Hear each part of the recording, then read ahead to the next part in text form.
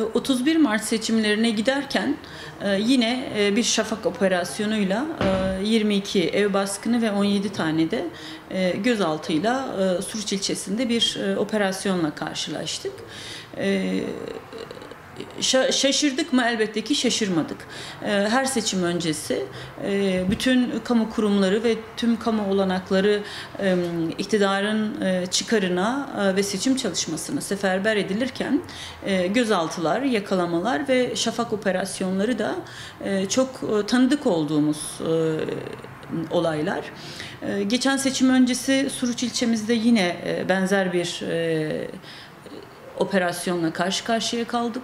E, ilçe yöneticilerimiz, e, çalışan parti yöneticilerimiz ve parti komisyon kurullarımıza yönelik e, bir e, operasyon e, ve yargı eliyle de geliştirilen e, bir e, süreci yaşadık. E, Bu seçime doğru giderken yine aynı şeyle karşılaştık. Sadece Urfa'da karşılaşmadık. İzmir'de, e, Ankara'da Gençlik Meclisimize, İstanbul'da kısmen gençlik çalışanlarımıza yönelik e, ve en son da e, 6 Mart'ta e, Urfa'da Suruç ilçesinde biz e, bir şafak operasyonuyla e, karşı karşıya kaldık.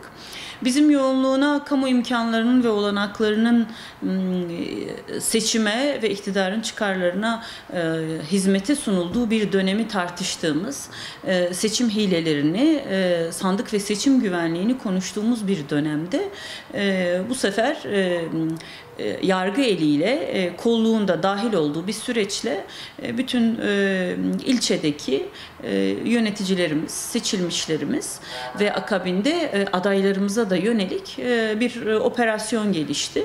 E, dosya elbette ki gizli kararıyla yürütüldüğü belirtiliyor ancak e, yıllar öncesine dayanan e, soyut, asılsız, e, mesnetsiz iddialara dayalı e, bir e, operasyon.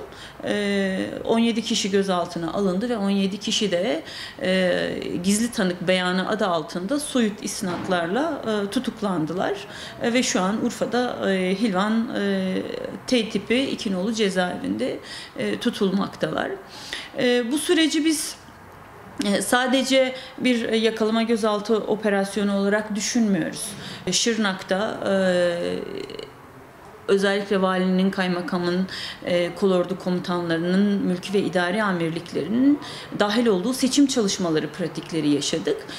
Ve e, bundan birkaç gün öncesinde de e, Urfa Cumhuriyet Başsavcısının e, Suruç e, kayyumunu e, ziyaret ettiği e, ve e, hem e, bu ziyaretle hem ziyaret öncesinde ve sonrasında e, iktidarın e, seçim çalışmalarına e, kendi e, kamu misyonlarını, e, görevlerini de unutarak e, dahil olduklarını üzücü bir şekilde görmekteyiz.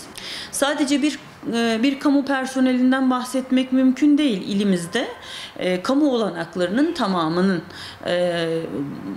bu şekilde iktidar partisinin e, çıkarına ve hizmetine sunulduğunu biz görüyoruz. Seçim çalışmaları başlarken e, iktidarın e, seçim afişlerinin, broşürlerinin e, belediye ve resmi araçlar eliyle, e, aracılığıyla e, asıldığı yönünde e, basına e, ilgili kurumlarımızın yaptığı paylaşımlar vardı.